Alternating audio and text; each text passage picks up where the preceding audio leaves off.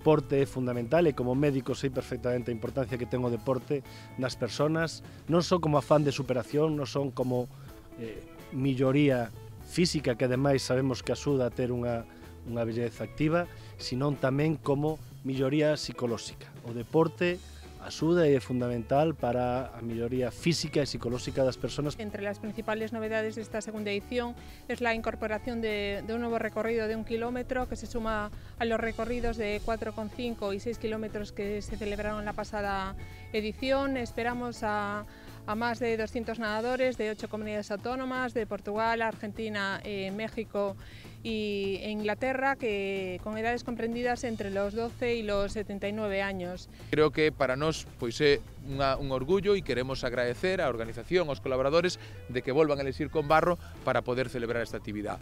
Eh, desde o Concello, pois eh, dar as gracias, dar as gracias tamén aos veciños, aos establecementos hosteleiros para que den unha boa cabida Creemos que vai, ademais, vai a contribuir a que ese fin de semana vayamos a ter pois, moitos visitantes no noso Concello. Música